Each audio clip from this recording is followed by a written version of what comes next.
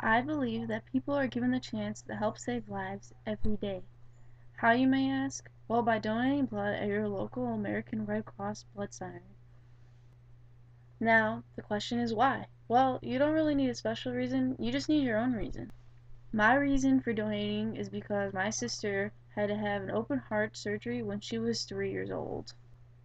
And if it wasn't for the people who donated blood, she probably wouldn't have survived. Someone needs a blood transfusion every two to three seconds. You never know when you or someone you love will be in that situation one day. If you give one pint of blood, it will save three lives.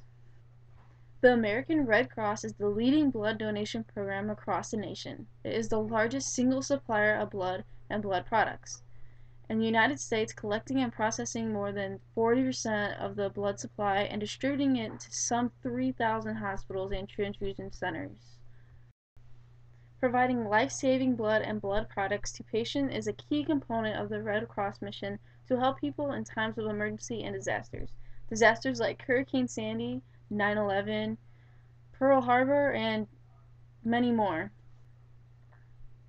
The Red Cross is constantly working to increase the availability of blood and blood products. That's why you should go out and donate today. And to ensure the safety of blood donation for both donors and recipients, all volunteer blood donors are given requirements that they have to pass before donating.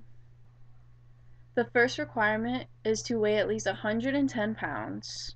The second is to have parental consent if you are 16. 17 and over doesn't need consent. And just to be in good health at the time of donating. The American Red Cross also asks if you can eat well before donating and keep yourself hydrated. Being hydrated helps for a better donation process and eating well keeps your nutrition levels high and well for the donation process. Now, you might be wondering what the donation process is for donating blood. Step 1. Just make an appointment. The second step is pretty much like a mini physical. They'll ask you questions about your health and history. You will read the information about donating and will be asked to show your donor card, driver's license, or any forms of ID. Step 3 The donation process. You will answer some questions during a private and confidential interview about your health history and places you have traveled. They will check your temperature, pulse, blood pressure, and iron levels.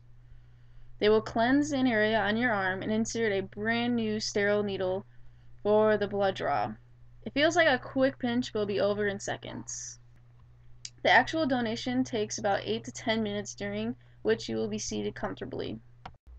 Approximately when a pint of blood has been collected, the donation is complete and a staff person will place a bandage on your arm.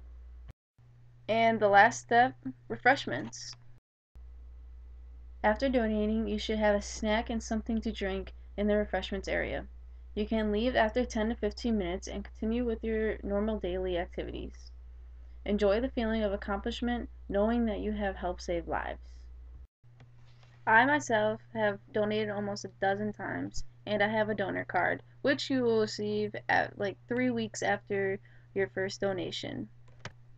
I always feel good after I donate because I know I'm helping my sister and many other people who are in need of blood.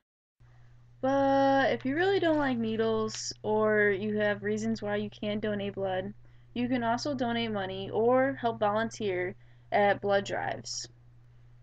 If you want to know more information, just go to www.redcrossblood.org. I hope you enjoyed this video and have a splendid day.